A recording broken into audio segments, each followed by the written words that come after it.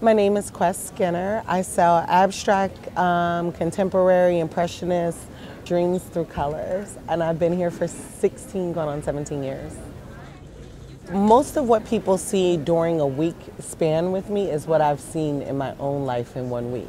So I paint anywhere from 25 to 150 pieces per week. So a lot of this stuff that you see is constantly in flux and rotating in and out of my collection as they find their new homes.